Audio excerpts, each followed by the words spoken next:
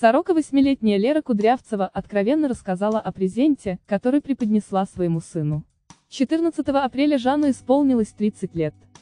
В честь юбилея звездная мама решила не поскупиться. Лера купила имениннику дорогой автомобиль. «Я могу себе позволить. Он рад и горд, что у него такая мама», заявила Кудрявцева.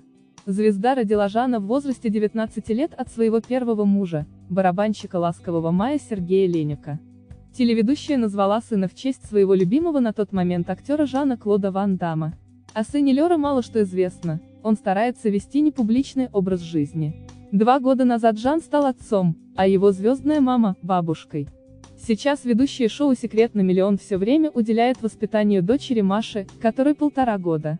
Она теперь нас называет маманя и папаня.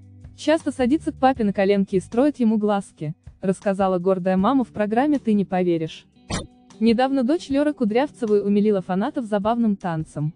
Телеведущая откровенно рассказала, за что не любит Ксению Собчак. Ольга Бузова заявила Лере, что будет рожать, несмотря на страх.